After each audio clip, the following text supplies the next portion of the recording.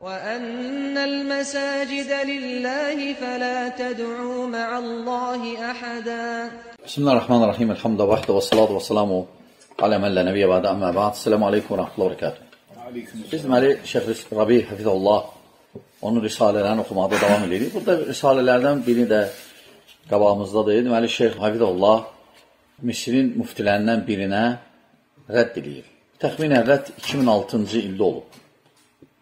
O da Danimarkada olan hadisələrdən, hansı ki, Peyğəmbər sallallahu aleyhi ve səlləmi təhqir ediblər və bu müfti də yazıb ki, gəlin, oturaq bir masada, bəs biz biri və s. və s. və Şeyx Rabi də ona rədd edib. Bəzi onun fikirlərinə ki, məsələn, adə ilə söz demək ki, biz birik. Məsələn, biz bir ola bilmərik yaxı. Yəni, necə yəni, xristiyanlıq, cuhudlar, bütpərəstlər və İslam bir olsun? Bir ola bilməz. Yəni, İslam təbii ki, yeganə dindir. Və İslam bütün peyğəmbərləri qəbul edir. Və onların arasında fərq qoymur ümumən.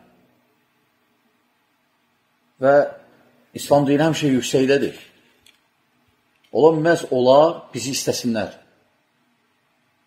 Allah subhanətə alə, şeyh burada təbii ki, danışır, yəni gətirir burada kifayət qədər dəlillər gətirir.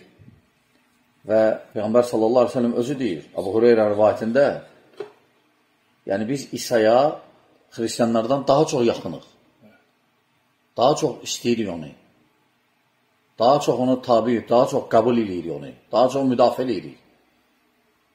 Yəni kifayət ki, Quran-ı Kərim. Quran-ı Kərimdə İsa'nın adı Muhammed sallallahu aleyhi sellem'dan çoxdur.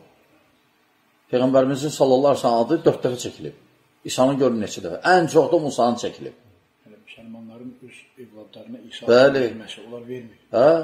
Yəni, müsəlmanlar öz övladlarına İsa da qoyurlar adlarını, Musa da qoyurlar, amma onlar qoymazlar heç vaxt. Bunların oxşadır rafsilərdir. Əhl-i sünnə və cəma, əhl-i sünnə öz uşaqlarına Əli də qoyur, Həsən də, Hüseyin də, Cəfər də və s. Baqir də və s. Lakin onlar heç vaxt Ömər qoymazlar uşaqlarına. Abu Bakır, Osman, baxmayaraq Əli ibn Əbi Talibin övladları Fatimədən, yox, başqa qadınlarından uşaqlarının adı Ömər də olub, Abu Bakır da, Osman da, Ayşə. Kim gedir? Bir yandan da deyirlər, biz əhl-i beytin yoluna gedir. Hanı əhl-i beyti? Siz elə adlarda gedmirsiniz, qaldı ki, başqa şeylərdə. Və həmçinin də belə xristiyanlar, cuhudlar və s. onlar əslində bizi istəmir. Aydın məsələdir. Və siz görürsünüz də, Quranı yandırırlar. Təsəvvür et, dövlət səviyyəsində elan olunur ki, filan kəslərə icazə verir, filan küçədə, filan saatda Quranı yandırmaq. Yəni, işimiz gücü qutarıb, yəni başqa şey, yandırın öz kitablarınızı da. Ha, burada təbii ki, məqsəd var. Məqsəd var. Ə, bu məqsəd nədir? İslamın, müsəlmanların artması. Çünki kifayət milyonlarla müsəlman Avropanı artıq öz vətəndaşlarıdır. Onlar da oturub fikirləşirlər ki, bu belə getsə, Avropa İslamlaşır, müsəlmanlaşır. Hətta Amerikanın özü. Hə. Peyğəmbərin özünü qəbul etmədilər. Kitabı Aydındır. Aydındır. Ona görə Peyğəmbər sallallahu əleyhi və səlləm ki, biz İsa'nı daha çox layiqik, İsa'ya daha çox yaxınıq sizdən, nəsranilərdən. Və bütün peyğəmbərlər Peyğəmbər sallallahu əleyhi və səlləm buyurur. Cürbəcür analardan olsalar da, ayrı-ayrı analardan olsalar da, lakin dinləri birdir. Bütün peyğəmbərlərin dinləri bir olur. Peyğəmbər sallallahu əleyhi və səlləm hədislərdə də bildirir ki, bütün peyğəmbərlər dəvəti bir olur. O da təvhid. Sadəcə qanunlarda, qaydalarda fərqli idilər biraz. İbadətdə biraz fərqli. Hamı ibadət edirdi, fərqli idilər. Amma tək Allaha ibadət edir, təvhiddə bir idilər. Şirkdən çəkindirmək bir idilər. Biri ondan sonra özündən gələni müjdələməyi bir idilər. Ta Məhəmməd sallallahu aleyhi ve sellem. Ona görə şeyh burada gətirir. Gətirir, çox gətirir ayələr, hədislər və Allah subhanət hələ buyuruyor, İnnə dinə indəllah ilə İslam. Allah dərgahında din İslam dinidir. Allah subhanət hələ buyurur, başqa ayədə ki, kim İslamdan başqa, başqa dinə tutunsa, Allah taala onu heç də qəbul eləməyəcək. Və başqa ayədə buyurur, buyurur ki, Allah taala وَلَنْ تَرْضَ عَنْكَ الْيَهُودُ وَلَا النَّسَارَ حَتَّى تَتَّبِي مِلَّتَهُمْ Yəni, Yahudlər, Nəsranilər açıq aydındır. Yahudlər və Nəsranilər səndən razı olmayacaq, hətta sən onların dinin qəbul eləməyəcək. Ona görə görsən, biz bunu görürük, qardaşlar, biz onu görürük. Məsələn, ney məsələ ilə, məsələn, adi məsələn, Qarabağ məsələsində. Ney nəsə də olan ermənilərin tərəfi saxlayırlar. Baxmayaraq, onlar bizə hücum edib. Onlar bizim torpaqları işğal edib. Deyilib onlara çıxın, çıxmayıblar. Əlhamdülillah çıxartdıq onları Allahın izni ilə. Hə, yenə narazıdırlar. Yenə görürsən problem edirlər. Çünki nə üçün? Onlar xristiyandır, biz müsəlman. Əslində budur. Sadəcə bu söhbətlər, qardaşlar, çox belə açılmır da. Amma əslində bu söhbətdir. Baxmayaraq ermənilərin işlə yoxudur.